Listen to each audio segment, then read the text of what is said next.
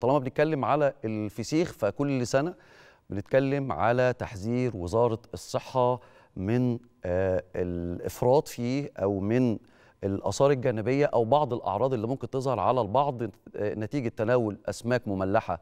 ممكن تكون فاسدة ممكن تكون مش معمولة كويس فبالتالي التحذير بتاع كل سنة آه، مستمر معانا السنة دي كمان. وزارة الصحة وجهت عدة نصايح طبية وإرشادات وقائية آه، مع الاحتفال بأعياد شم النسيم وده طبعا ضمن جهود الوزارة لتطبيق خطة التأمين الطبي وحماية المواطنين من الممارسات الغذائية الضارة. الوزارة كمان وضحت أن أعراض التسمم الناتجة عن الفسيخ أو تناول الأسماك المملحة بوجه عام آه، كالتالي. عشان برضو الناس تبقى عاملة حسابها وعارفة أن دي الأعراض اللي بتكلم عنها وزارة الصحة وبناء عليها هنقول هنعمل إيه. عندنا زغللة في العين في ازدواجية في آه، الرؤية في ارتخاء الجفون كل ده في العين يعني. في جفاف الحلق الحنجرة ده طبيعي طبعا الناس كلها بتبقى عارفاه. وبعد كده لا قدر الله صعوبة في آه، النطق وصعوبة في البلع وإحساس بالدوران والضعف العام في العضلات اللي هو الوهن يعني. وكلها أعراض طبعا واضحة ومش مش مش غامضة ولا محتاجة تأويل ولا تفسير. هتلاقي لا قدر الله إن شاء الله ما تجيش لأي حد. أي حد عنده أي عرض من الأعراض دي فورا بيتوجه لأقرب مستشفى حكومي علشان ياخد مصل ال- المضاد لتسمم الفسيخ وبالمجان.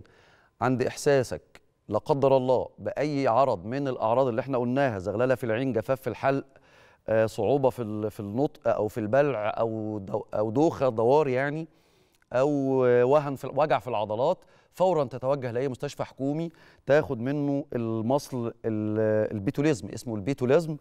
آه، هو بس أنت مجرد ما تروح أي مستشفى حكومي هم عارفين وده بالمجان.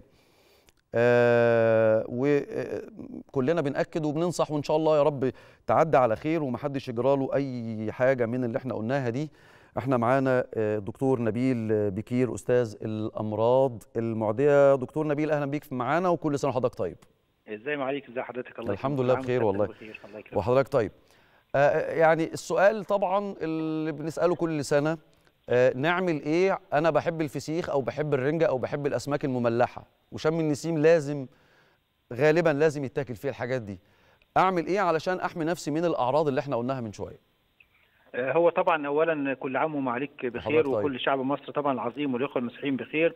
وبمناسبه عيد شم النسيم وحقيقة هبدا كلمتي بس طبعا هو آه، ال- كل سنة حي زي سيادتك ما بتقول بنتكلم عن نفس النقطة هو لا يمكن المصريين هيسيبوا برضه الاسماك المملحه لأن مصدر. غذائي قوي جدا مم. ومهم جدا وكل الناس كلها بتستمتع بيه بغض النظر إيه عن عن بعض المضار اللي بتدور حواليه طبعا بالظبط آه، دايما حضرتك دايما عندنا يقولوا الوقاية خير من العلاج يعني سيادتك قلت من شوية طبعا الأعراض الأعراض الجميلة اللي سيادتك قلتها طبعا مش عايزين يا رب يحفظ المصريين كلهم ويحفظ كل متناولي ال- الأسماك المملحة بشكل عام من إن إحنا ما نسيبش لما يجي لنا أعراض والموضوع بيبقى حقيقي صعب جدا يعني إن إحنا نلحق نعالج مريض ولا غيره. فموضوع صعب. آه، مهم جدا حضرتك طبعا إن دايما الفسيخ الفسيخ بيتعمل من أسماك سواء البوري أو سواء الطبار مظبوط. وطبعا بقى المصريين كلهم عارفين ال- الفرق بين السمكتين تمام في منطقة البق ال- دايما البوري منطقة البق الرفيع عريض وال... آه. والتاني عريض وال... وال... آه آه. وفي فرق طبعا في السعر عالي جدا بين النوعين تمام مم. ولكن مهم جدا حضرتك إن إحنا طبعا ننقوا المصدر بتاع الأسماك دي مصدر الأسماك ساعات كتير بيحصل وخاصة ما يبقاش فيه أمراض ولا حاجة مم. ولكن فرق الضغط بين المية تبص تلاقي حضرتك ساعات أسماك ال- البوري ساعات تموت بكثافة عالية جدا فياخدها بعض ال- ال- ال- ال- قليل الضمير. ويخزنها لغاية ما يد... أو يكسرها يعملها فسيخ ودي طبعا كلام مش مظبوط نهائي كمصدر سمك مش مظبوط. يبقى مهم جدا إن إحنا نختار مصدر, المصدر. الأسماك اللي مم. هتشتري منه. أو أنا أشتري الأسماك دهيت وأبدأ أكسرها في البيت ودي الصح والمظبوط تمام؟ النقطة الثانية المهمة جدا لكل بقى الناس سواء أصحاب المصانع اللي بيسمعونا أو سواء مستخدمي أو سواء الناس اللي بتعمل فسيخ في البيوت مهم جدا إن أنا أنظف السمك كويس جدا من المض أو من الطينة. الطينة دي حضرتك هي بقى اللي فيها ال Clostridium botulism اللي تبدأ تشتغل على السمك وتعمل مو... شغل كويس جدا. هتقول لي يا دكتور ما هو الطبيعي أنا بجيب السمك ده أنا بغسلها غسلة بخليها. زي الفل بالبلدي كده. للأسف الشديد بغسلها بخليها زي الفل ويبقى المصنع مثلا بشكل كبير جدا يجي فارد السمك على مشمع ودي مطلوب؟ آه. مطلوب إن أنا بعد ما أغسل السمك كويس جدا. إن أنا. أنشفه. أجففه سواء بالشمس أو سواء أجففه في أفران تجفيف دي نقطة مهمة جدا. وممتازة تجفيف السمك. ولكن للأسف ساعات بيحطوا ساعات في أماكن بيطير بعد هواء فيجيب تراب. التراب ده عبارة عن إيه؟ عن تراب عن طينة. أو طير يقف عليه حضرتك؟ آه، يعني الأمر ما آه، ده إحنا ما يسلمش. وصلناش. كمان لمرحلة الدبانة. الحاجة الخطرة تمام. تبص تلاقي الطينة تبدأ تدخل أو التراب البسيط دوت يدخل. دي بيبقى طبعا ال Clostridium botulism.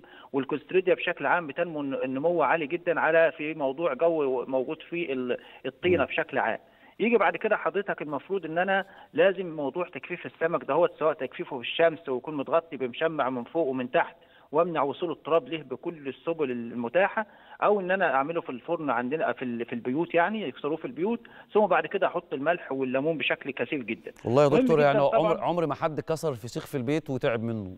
آه تمام حضرتك جبت المظبوط ليه بقى؟ لأن حضرتك بيبقى الموضوع كيلو 2 كيلو 5 كيلو 6 كيلو. فبيبقى مهتم بيهم جدا وما عرضهمش للدبان ما عرضهمش للطراء للأتربة بشكل عام وبيهتم بيهم يعني مشكلة المصانع إن بيبقى عنده منطقة تجفيف أو منطقة وكميات منطقة وعايز. وعايز. يعني. يقلب وعايز يقلب. ويخلص أيوه تمام إلى جانب حضرتك برضه ما بيتمش موضوع التمليح لازم موضوع التمليح ده يتم بصورة جيدة جدا تمام مم. وتمليحه مع الليمون ماشي ولازم يعمل جو غير هوائي بشكل آه، كبير. في سبيل برضه إن يحصل الإيه ما يحصلش أي عدوى بأي مرحلة من مراحل التصنيع ودي نقطة مهمة جدا. لا كان يقول لك لو شم هوا يدود ده أيوه تمام. مهم آه. جدا إن أنا نحبسه عن الهواء نهائي وساعتها واحط له برضه المدة المناسبة في سبيل يطلع إن السمك يطلع بالشكل اللائق اللي المفروض الناس ياخدوه طيب الناس بقى لما يجي يستعملوه. هو بالطبيعي سيادتك هو سمك بالبلدي كده وأنا آسف في اللفظ سمك متعفن. صح كده ولا لأ وكلامنا واضح تمام ماشي سمك حصل له إن هو وصل لمرحلة سوى زيادة عن اللزوم لدرجة خلاص بقى حاجة بالحاجة الجميلة كأنه زبدة كده. والناس كلها بتبقى مستمتعة ده بقى حقيقي فعلا مهم جدا إن أي في أي تغيرات فيزيائية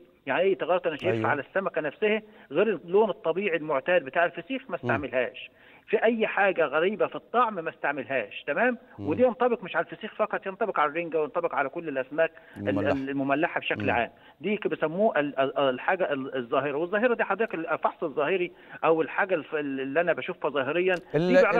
بالظبط يعني هو اللي اللي متعود على أكل. الفسيخ بيبقى عارفها أيوه مش تمام بيبقى يعني، آه. آه مش محتاجة حد متخصص مم. يعني ثم ثانيا الطعم برضه مهم جدا إن هو أي حد بياكل أسماك مملحة بيبقى عارف حاسس إن طعم غريب. أنا طعم غريب بعد إذنكم ما اكملش تمام؟ بالظبط. أكمل طعم غريب إزاي؟ المفروض برضه أتجنب الطعم الإيه؟ الطعم الغريب. مهم جدا خاصة حضرتك وسيادتك بتتكلم دلوقتي موضوع برضه الرنجة. الرنجة ديت برضه من الحاجات المهمة أيوه ما ده اللي أنا. كنت عايز أسأل عليه. هي الفسيخ يعني ينفع أسأل هو الفسيخ أخطر ولا الرنجة؟ ينفع أسأل سؤال زي ده ولا؟ حضرتك هم هم طبعا هو الفسيخ أخطر لأنه دايما بيتعامل في جو غير هوائي. فبت... ولو اتلوث بيحصل له ال Clostridium botuli- botulism تعمل طبعا مم. مشاكل زغللة في العين زي حضرتك ما قلت يبقى شايف الش... الحاجة اتنين وشلل في عضل في عضلة الزور و... وجفاف في الحلق و... و... وصعوبة في التنفس وخطر خطر بصراحة م- تمام أما الرنجة أقل خطورة بس الرنجة بقى مشكلتها هي حضرتك إن دايما الرنجة بيبقى موجودة طول السنة فساعات بيبقى فيها متخزن منها كتير فتبقى داخلة على مرحلة الف... إنها تفسد فيجوا. الناس بعض آه، قليل الضمير واخد بال حضرتك يجي حاطط عليها مادة حافظة تمام اسمها ال silver nitrate المادة الحافظة ديت بتخليها تدي اللون بقى الأصفر اللامع الجميل. اللي الناس تبقى مبهورة بيه دي حضرتك برضو أنا بعرفها كمختص لو أنا حطيت نقطة آه، آه، حمض كبريتيك أو بلاش حمض كده حطيت نقطة نقطة مية نار زي ما بيسموها كده. تمام لو عندي كمية خاصة لما بتجي لي أنا الكلية تمام وأعمل فحص ظاهري بعمل أحط النقطة ديت بص الاقي تدي اللون الأزرق دي خلاص ممنوع إن أنا استخدمها طب طب المست... المستخدم بقى اللي مش يعرف يجيب ميه المستخدم. بقى من خلال الاعراء من خلال الفحص الظاهري زي ما بنقوله شكلها كده غريب مش مريحني مم. تمام ثم بعد كده حضرتك لما ادوقها في الطعم. الطعم برضه غريب مش مريحني لما. استعملهاش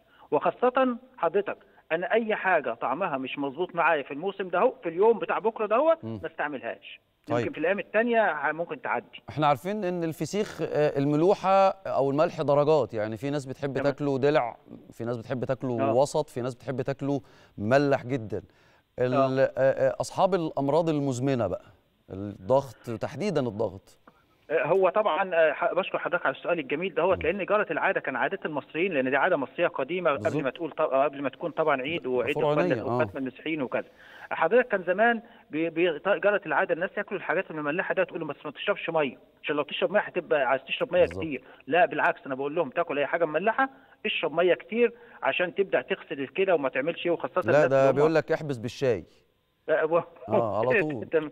تم- تمام آه احبس بالشاي دي آه. قبل الشاي يتمنى إن هو أتمنى إن هو. يشرب مية كتير أيوه تمام والشاي ده هو يخليه مرحلة لاحقة في سبيل إن هو يبدأ برضه يخفف من من نسبة الملوحة الموجوده طبعا يفضل إن أنا ما أكلش الحاجات اللي هي بس إيه هو لو ملح. لو لو لو ملحه لو لو الفسيخ ملحه زيادة وشربت مية اللي هو salt water retention ده هيعلي الضغط أصلا آه، تمام هو. حضرتك ما عشان كده بقول لحضرتك هو دا- دايما مرضى الأمراض المزمنة بالكلى أو الضغط. يفضل إن لو لو مضطر انه ياكل تكون كمية بسيطة وياكل دايما ياكل الملح اللي هو ملحه الرنجه. أو العدبه العدب ما آه. ياكل ما ياكلش الملحة زيادة أو الملاحة زيادة عن اللزوم. تمام آه، دي طبعا حاجات أساسية الحاجة برضو مهمة جدا طب البصل أ- قبل ما أطلع من النقطة دي بس عشان خاطر آه. اللي هو الديتوكس يعني المضادات. التسمم هي ناس بتقول لك آه. أنا طالما باكل بصل مع الفسيخ مش مهم بقى حتى لو كده كده ده هيعادل ده البصل ليه دور في ما الموضوع آه، هو البصل حضرتك من طبعا من الأكلات الجميلة جدا. وفعلا في مضادات تسمم تمام وفي anti anti antioxidant كمان آه antioxidant رائعة كمان وممتازه ومية مية ولكن